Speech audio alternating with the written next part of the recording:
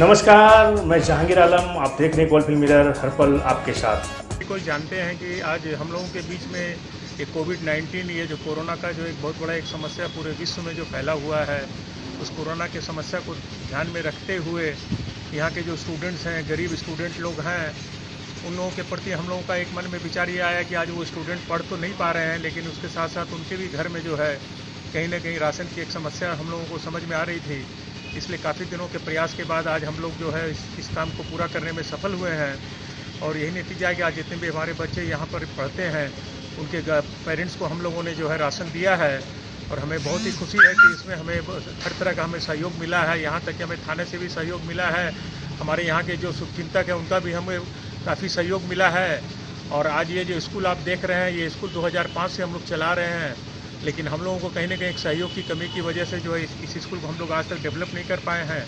क्योंकि हम लोग ये जो बच्चों से जो फ़ीस वगैरह का की, जा, की जहाँ तक बात है उनसे हम लोग सिर्फ़ आज जो टीचर्स यहाँ पे पढ़ाते हैं उनकी सिर्फ़ सैलरी बहुत निकाल पाते हैं। इसलिए हम आशा करते हैं कि हमको कहीं ना कहीं से अगर कोई सहयोग मिले तो हम इस स्कूल को और डेवलप कर सकें ताकि और भी बच्चों को हम यहाँ पर जो है शिक्षा के लिए हम उनको आमंत्रित कर सकते हैं, तभी मैंने ये संभव होगा अगर हम स्कूल को और इस स्कूल की जो जो अधूरा काम है, उसको जब हम पूरा कर लेंगे, तब हम और भी बच्चों को यहाँ पर हम एजुकेशन के लिए ले पाएँगे। इसमें हम, हमारे जितने भी शुभचिंतक हैं, मैं सभी से कुछ ना कुछ आशा करूँगा कि उनका सहयोग रहेगा, ताकि आने वाले दिनों में हम यहाँ पर शिक्षा का भी विकास कर सकें और लोगों को यहाँ पर जब शिक्षा का विकास करेंगे, तभी हमारे देश का भी विकास संभव है, क्योंकि बिना शिक्षा के बिना मन, मनुष्य अधूरा है। इसलिए मैं सभी की सहयोग की आशा रखता हूँ और आगे भी मैं ये सहयोग की आशा रखता रहूँ। स्कूल डेवलपमेंट में हमारे जो है सबसे बड़े जो हमारे जयदीप मुखर्जी साहब जो हमेशा हर एक सामाजिक कार्यों में आगे लगे रहते हैं उन्होंने हम, हम हमेशा देखा अभी हाल में उन्होंने एक बहुत बड़ा मैंने यज्ञ किया। मैं समझता हूँ कि जो ब्लड डोनेशन कैंप का चौदह दिन का जो आयोजन किया था उसमें 455 यूनिट का जो करके डोनेशन का जो रिकॉर्ड बनाया है उसकी जितनी भी प्रशंसा की जाए उतना ही कम है।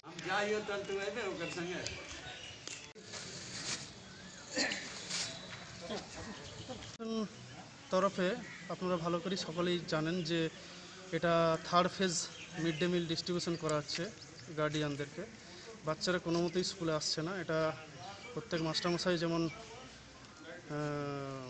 প্রতিশ্রুতি নিয়েছেন, আমরাও সেই রকমভাবেই এটাকে সবার মধ্যে সার্কুলেট করেছি যাতে কোনো মতেই বাচ্চারা না আসে। তো বাচ্চারা আসেওনি সমস্ত গার্ডিয়ানরাও এসছেন। আপনারা দেখতে পাচ্ছেন পুরো ডিস্টেন্স যে মার্ক সে মার্কিং করা আছে, সবাই সিস্টেমেটিক ওয়েতেই নিয়ে যাচ্ছে। ওখানে কাউন্টার খোলা হয়েছে তিনটে। সেখানে গার্ডিয়ানদেরকে মাস্টার রোল রোলে টিপছাপ দেওয়া হচ্ছে, বা সই করানো হচ্ছে। পাশাপাশি টোকেনও দেওয়া হচ্ছে। সেই টোকেন নিয়ে তারা এই কাউন্টারে আসছেন। নিয়ে পরে সে চাল আর আলু নিয়ে যাচ্ছে। আমার এই কুলটি চক্রে এইবারে থার্ড ফেজে মোটামুটি আপনার বাইশ হাজার আটশো ষোলো জনের মতো আছে। ক্লাস পিপি থেকে এইট পর্যন্ত। এক তারিখ থেকে চার তারিখ পর্যন্ত আপনার ডিস্ট্রিবিউশনটা চলবে। বিভিন্ন ক্লাস ওয়াইজ করা আছে। যে স্কুলগুলোতে বেশি এনরোলমেন্ট আছে, সেগুলো হয়তো অনেক গার্ডিয়ানরাই এসে যাচ্ছেন। নির্দিষ্ট দিনে যে আছে শিডিউল করা আছে, সেই শিডিউল না জেনেই। তো তাদেরকেও আমরা ঘোরাচ্ছি না। মাস্টারমশাই ঘোরাচ্ছেন না, দিয়ে দিচ্ছেন। যাতে তাদেরকে আবার অন্য দিন না আসতে হয়, সেটাকে অ্যাভয়েড করার জন্যই। তো মোটামুটি সোশ্যাল ডিস্টেন্স মেনটেন করে দেওয়া হচ্ছে। সকলকেই মাস্ক পরে আসার জন্য বলা হচ্ছে। হ্যান্ড স্যানিটাইজার ইউজ করা হচ্ছে স্কুলের মাস্টারমশাইদের তরফ থেকে। খুবই সুন্দর একটা সিস্টেমেটিক ওয়েতে দেওয়া হচ্ছে। আমি খুবই খুশি যে মাস্টারমশাইরা খুব সুন্দরভাবে এই মানে থার্ড ফেজের যে মিড ডে মিল ডিস্ট্রিবিউশনের পরিকল্পনা নিয়েছেন আগের থেকেই। তাদেরকে অসংখ্য ধন্যবাদ আমার তরফ থেকে। আর আমাদের শিক্ষা দপ্তরকেও খুবই অসংখ্য ধন্যবাদ আমার তরফ থেকে যে যারা আমাদের পড়ুয়ারা আছে, তারা দীর্ঘদিন যাবৎ স্কুলে আসতে পারছে না, পড়াশোনার পাশাপাশি হ্যাম্পার তো হচ্ছেই। চক্রে অনলাইনেরও ক্লাস বিভিন্ন স্কুলের তরফ থেকে নেওয়া হচ্ছে, আমার কাছে খবর আছে। তো পাশাপাশি যারা ইয়ে আছে, ছাত্রছাত্রী যারা বাড়িতে আছে, তারা বাড়িতে পড়াশোনা করছে। মোটামুটি এটাই ভালো লাগছে যে এইরকম একটা প্যান্ডেমিক সিচুয়েশন হয়েছে, তাতেও যে সিস্টেমেটিক ওয়েতে দেওয়া হচ্ছে সব কিছু দিক থেকে, সব স্তরের ডিপার্টমেন্ট বলুন বা মানুষজন বলুন বা জনপ্রতিনিধি বলুন, সবাই এগিয়ে এসছে, সহযোগিতার হাত বাড়িয়েছে। দেখে খুব ভালো লাগছে। আমরা সবাই গর্বিত। মাস্টারমশাইও খুবই একাগ্রতা নিয়ে কাজ করছেন। যাই হোক, ধন্যবাদ। আমি কুলটি চক্রের অবর বিদ্যালয় পরিদর্শক। আজকে ভিজিটে বেরিয়েছি। এখন আমরা কেন্দুয়া প্রাইমারি স্কুলে আছি। আমরা আবার নেক্সট কুলটি সার্কেলের যে সমস্ত স্কুলের ডিস্ট্রিবিউশন চলছে, আমরা সেখানে ভিজিটে যাব। ধন্যবাদ। বিদ্যালয় कौन से अधिकारी लोग आए थे? सब इंस्पेक्टर हैं हाँ। सदर मंडल तो आए थे हाँ, हाँ, आए थे विज़िट में देखे हाँ, हाँ। देखने के बाद सब कुछ ठीक ठाक लगा अच्छा अच्छा तो आज इसको के जी आलू जो कि लास्ट थर्ड फ़ेज़ के लिए जो है। हाँ, तो दो के जी क्यों इससे पहले जो दो बार उसमें तीन के जी आलू तीन के जी चावल जिस तरह शायद जिस तरह हम लोग सी एम अनाउंसमेंट कर रही है हाँ। उसी हिसाब से हम लोग दे रहे हैं हाँ। जैसे फ़र्स्ट फ़ेज़ में था दो के जी सेकेंड फ़ेज़ में था तीन के जी करके था। हाँ। और थर्ड फ़ेज़ में दो के जी करके बोला गया। हाँ, मतलब जैसे आपका राज्य सरकार जिस तरह कह रही है उस तरह आप लोग चला रहे हैं। उसका वजह है। जैसे हाँ, क्या वजह है? अब वो बोलिए, क्या वजह है? जैसे कि फ़र्स्ट फ़ेज़ जो है ना वो वजह उसका वजह है? ये है कि फ़र्स्ट फ़ेज़ जो है एक महीने का था। हाँ, हाँ, सेकंड फ़ेज़ जो है वो डेढ़ महीने का था। और थर्ड फ़ेज़ जो है फिर एक महीने के लिए दिया जा रहा है। नेक्स्ट में एक महीना दिया जाएगा हाँ। तो सर कुछ जैसे आज आप लोग कहा गया एस आई वगैरह कलर हो गया जा चुके हैं इसमें आपको स्कूल का क्या है हुआ? फाइन बताएँ हम लोग कि नहीं आप लोग सब ठीक ठाक से दे रहे हैं। हम्म, बस इसीलिए उसका धन्यवाद दे के चले गए। ठीक सब कुछ आपका। सब कुछ ठीक है कुछ हाँ। ऐसा कोई हर प्रॉब्लम। क्रिएट नहीं। हुआ। लगभग लगभग। कितने बच्चे पढ़ते हैं आपके विद्यालय में? हमारे बॉयज़ में है 601 बच्चे। हम्म, पी पी टू फाइव हम्म, उर्दू हिंदी बंगला। हम्म, गर्ल्स में है पी पी टू फोर है। वहाँ पे है दो सौ दो सौ करीब बच्चे हैं वहाँ पे। हम्म। आपका पूरा नाम क्या हुआ sir? Mohammad Hasamuddin Khan. Hmm, C I C S school के teacher in-charge office primary school.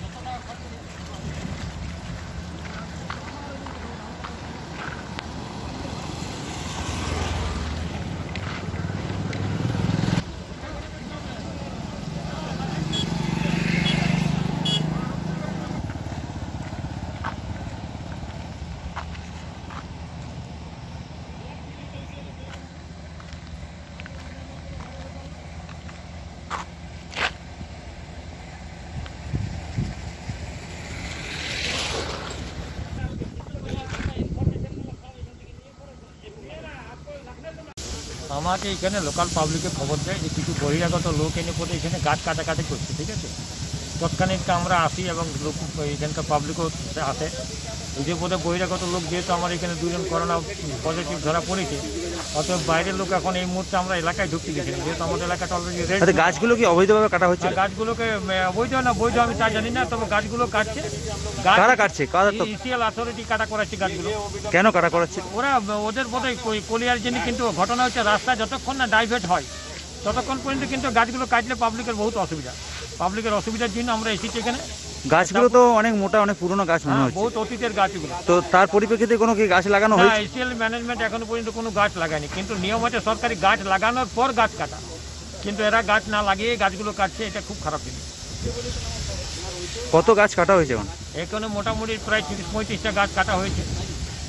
আপনাদের এখন কি দাবি আপনাদের এখন কি চাইছেন? আমরা এখন চাইছি যে লকডাউনের সময় এখন বাইরের থেকে বহিরাগত শ্রমিক না এনে পরে এখানে কাজ না করেছি সব থেকে বেটার কেন এখানে বাইরের শ্রমিক আনলে পরে এখানকার মানুষ আতঙ্কিত হয়ে যাচ্ছে কি নাম?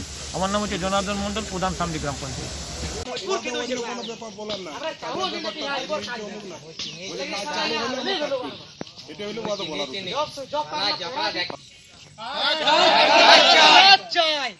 এই যে নানা রকম মানুষরা যে আজকে খিদাতে মরছে লকডাউন আমাদের কাজ চাই কাজ চাই ইসলামপুর আমাদের বেল্টে যত আছে জব সুপার তাদের আমরা বিরোধ করছি কি ওরা যাতে সব মানুষকে কাজে লাগায় যারা যারা নিজের মধ্যে ই করছে তারা যাতে সবাইকে নিয়ে চলে। এ হচ্ছে আমাদের আন্দোলনের আপনাদের? অসুবিধা আমাদের আমাদের গ্রামে আজ মোটামুটি দশ থেকে বারো দিন হয়ে গেছে জব জব কাজ কাজ- কাজ করা। কিন্তু মোটামুটি ওই দশ পার্সেন্ট লোকে কাজ কর্ম এখানে করছে। আর আমাদের সমস্ত নব্বই পার্সেন্ট লোক যারা গরিব ছেলে আছে তারা কিন্তু বাড়িতে বসে আছে কোনো খবর পায়নি। যখন যাচ্ছে পার্টির কাছে ছেলের কাছে যাচ্ছে কোনো রেসপন্স নিচ্ছে না। বলছে আজকাল আজকাল ওরা কোনো রেসপন্স দেয়নি আমরা আজকে এসেছি আন্দোলন করতে কি আমাদের কিছু চাই না আমাদের যাতে যেগুলো বাদ পড়ে গেছে তারা যাতে কাজ পায়। আর যতক্ষণ পর্যন্ত আমাদের ছেলে কাজ না পায় ততক্ষণ পর্যন্ত আমাদের এখানে কাজ বন্ধ থাকবে। যাতে যে হোক এটা আমাদের আন্দোলন আর কোনো আন্দোলনে আমাদের কারোর সঙ্গে ঝগড়া কিছু নাই। নাহলে জব জব কার্ডগুলো যত আছে আমাদের সব ছিঁড়ে আগুন লাগিয়ে দিই। কারণ আমাদের কেন জব কার্ড জব কার্ড রেখে পরে কি হবে আমাদের? জব কার্ডগুলো রেখে কি হবে? লকডাউনে লোক খেতে পাচ্ছে না। লোক খেতে পাচ্ছে না। তারা বড় বড় যাদের চাকরি যাদের বড় বড় মিনিস্টার ওদের ঘরের লোক কাজ করছে। কিন্তু গরিব গরিব যারা বাচ্চা বাচ্চা আছে ছোট ছোট বাচ্চা তারা কিন্তু এখন পর্যন্ত জব কার্ডে একবারও কাজ করতে পারে না এই হচ্ছে আমাদের গ্রামের রাজনীতিক। কিছু বলতে হলো আমাদের গ্রামের রাজনীতিক। যতক্ষণ আমাদের এটাই আমাদের বলার উদ্দেশ্য যতক্ষণ আমাদের এখানে কাজ না হয় মানে আমাদের লোক না পায় ততক্ষণ পর্যন্ত আমাদের কাজ এখানে যাতে বন্ধ থাকে এটাই আমাদের আনন্দ জয় হিন্দ জয় ভারত। কিসের কাজ চলছে এখানে? কার্ড একশো দিনের জব কার্ড একশো দিনের যেটা কাজ হয় একশো দিনের কাজ হয় সেই কাজ হচ্ছে। আমাদের জব সুপারটা চলবে না কি কি নাম আপনার? আমার নাম বসিন আনসারি গ্রাম বাথানবাড়ি থানা সালানপুর জেলা Bardhaman post Basudebpur Jemari pin number একাত্তর তেত্রিশ পঁয়ত্রিশ mobile number eight nine one eight six nine eight seven six four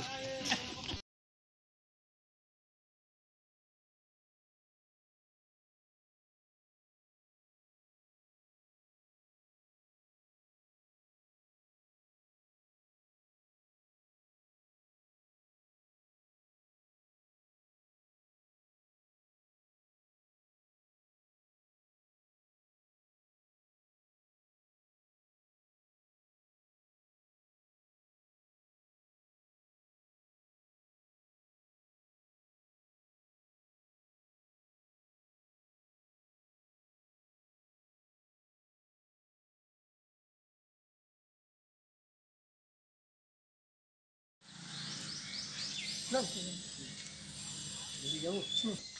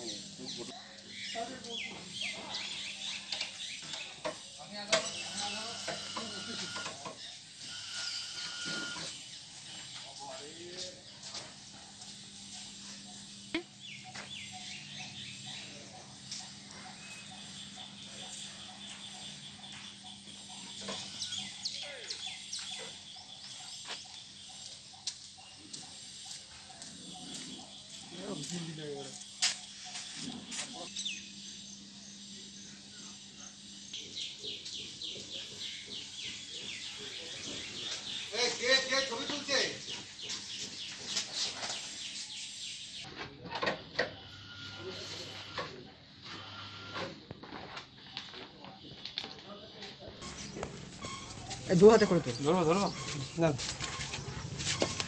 ধরো ইয়েটা ফেলতে ঠিক আছে? পাগল দা পাগল পাগল পাগল দাও গেল পাগল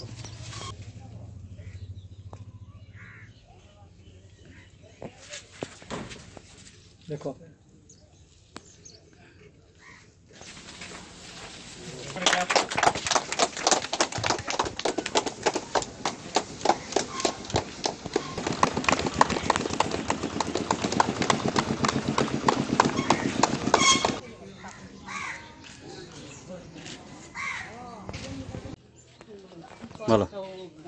চলাফেরা করতে পারে না, গরিব মানুষ।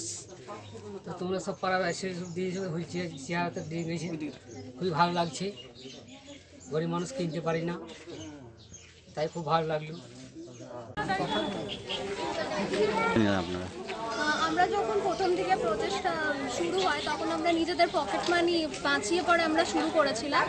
তো সেখান থেকে আমরা যখন এই পাড়াতে এই গরিবদের যে আছে, তাদের অসহায়দের যখন হেল্প করতে আসা হয় নিজেদের পকেট মানি বাঁচিয়ে পরে আমরা যখন হেল্প করতে আসি তখন দেখি যে এই যে দিদা আছে যিনি আপনার হাঁটতে পারেন না, চলতে পারেন না, এনার যেতে আসতে কষ্ট হয়, ঠিক আছে? তো তখন আমরা এনাকে মানে আমরা প্রচেষ্টার থেকে সবাই মিলে উদ্যোগ নিয়ে পরে এই দিদাকে হেল্প করার কথা ভাবি। তো তারপরে এই হুইল চেয়ারের আমরা ব্যবস্থা করি। তো আশা করি আমরা আরও ভালো ভালো কাজ করতে পারব। এখানে যারা আছে সবাইকে নিয়ে পড়ে। আর আশা করি প্রচেষ্টাতে আরও সবাই উদ্যোগ নেবে এবং উদ্যোগে সবাই আরও আমরা দুবরাজপুরবাসী বা বীরভূমবাসীদের আমরা হেল্প পাবো। সংস্থার পক্ষ থেকে এটাই বার্তা দিতে চাইব যে সবাই আমাদের পাশে এসে দাঁড়াক। আরও আমরা যাতে বড় বড় কাজের উদ্যোগ নিতে পারি মানুষের হাতে থাকতে পারি এটাই উদ্যোগ নিতে চাই। সুরেশা ওঝা আপনি এই সংস্থা এই সংস্থার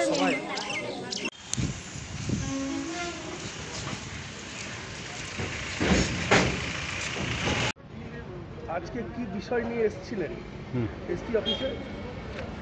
আজকে আমরা ছটা দাবি নিয়ে আমরা মাননীয় এসপি সাহেবের কাছে এসেছিলাম যে কিছু থানা ভারপ্রাপ্ত অফিসাররা দেখছি চরম দ্বিচারিতা করছে এবং বিজেপির লোক দেখলেই মিথ্যা কেস দিয়ে জেল খাটাচ্ছে এবং বিভিন্ন কঠোর ধারায় কেস দিচ্ছে।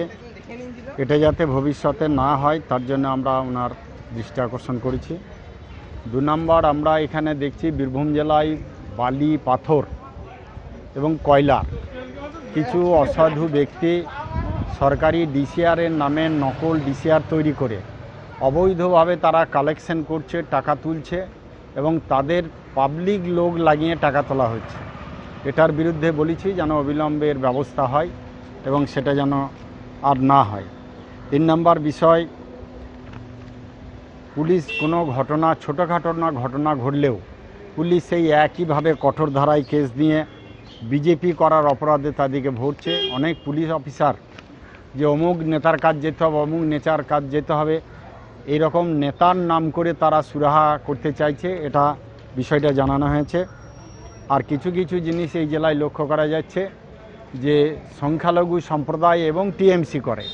এই রকম লোকের কাছে কয়েকটি থানা তাদের ধারে কাছে যাচ্ছে না। তাদের অন্যায়ের বিরুদ্ধ, অন্যায় থাকলেও তাদের সেখানে খোঁজখবর নিচ্ছে না বা কোনো ব্যবস্থা নিচ্ছে না।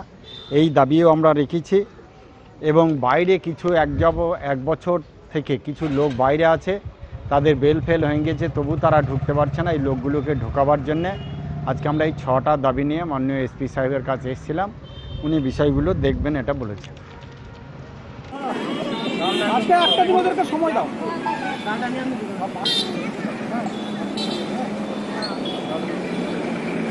ঠিক আছে আমাদের কাছে খবর আসে যে বোলপুরের ছ নম্বর ওয়ার্ডে কিছু পরিবার সাতটি মতো পরিবার, তারা অসহায় অবস্থায় একটি অস্থায়ী কুড়ে ঘরে বসবাস করছে। সেখানে গোটা কুড়িটা শিশুও রয়েছে, মোট সদস্য সাতাশ জন। তো বিষয়টা সেটা আমরা learned secretary, district legal services অথরিটির জাজ দেবজ্যোতি মুখার্জি মহাশয়কে জানাই এবং তারই নির্দেশ মতো আমি সেখানটা ইনকোয়ারি করি এবং দেখি যে সত্যি তারা খুব কষ্টের মধ্যে আসে। শিশুরাও শিক্ষা থেকে বঞ্চিত, অন্যান্য সুযোগ সুবিধা থেকেও বঞ্চিত।